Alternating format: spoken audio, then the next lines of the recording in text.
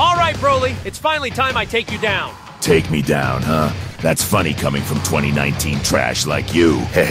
What do you mean? Listen, kid, the red zone is way above your league. I advise you give up if you don't want to sleep in a grave tonight. Uh, Broly, have you been living under a rock or something? The only rock I'm living under is the one I'm gonna crush you with. No, what I'm trying to say is. If You're not gonna take my advice. I'm just gonna have to eat you up like a starving child on Thanksgiving Day. Wow, I didn't know you were gay. That's amazing! No. Who would have ever guessed? what? Anyways, what I was trying to say was that I got an easy A. what the fuck is an easy A?